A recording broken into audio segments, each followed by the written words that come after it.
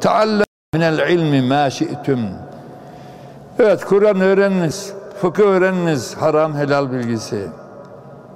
Evet. Doktorluğu öğreniniz, mühendisliği öğreniniz, Kur'an'ı öğreniniz. Ma şi'tüm. Dilediğinizi öğreniniz. Kur'an ilimlerinden dilediğinizi öğreniniz. Din hükümlerinden dilediğinizi öğreniniz.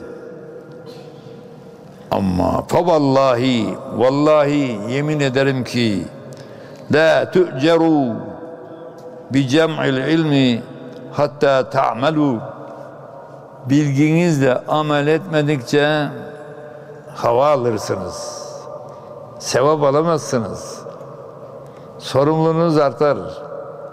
Hocalar yanlış yapsa Allah affetmiyor. Hem biliyor hem yanlış yapıyor. Vatandaş yanlış yapsa bilmediği için daha kolay hesap verebilir. Ama hocalar çok zor hesap verecek. Çünkü biliyor için hastalık yine de yapmıyorsa kolay kolay affa uğramayacaklar. Zor besselam.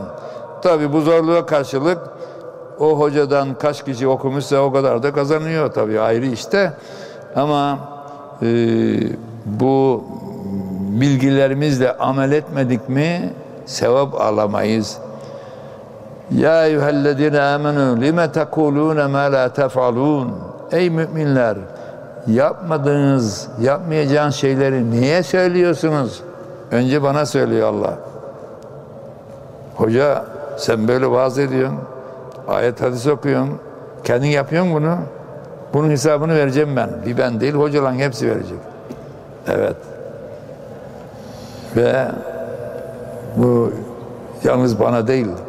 Sen de evlendiğin zaman hanımın hocasısın. Oğlun kızın hocasısın.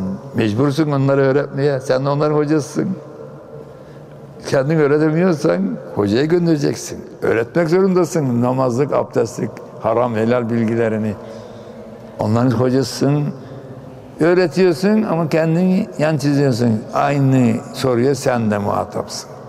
Hocalara sorduğu gibi gel bakalım sen hanıma şöyle dedin. Oğluma sigara içme oğluma çekiyorsun. E sen ne içiyorsun? Ayet böyle. Böyle yapma diyorsun kendin yapıyorsun. Kebura maktan innallah en tekulu ma la tefalun. Yapmadığını söylemek Allah katında çok çirkin, hayasız bir iştir. Hesabı verilecek. Evet.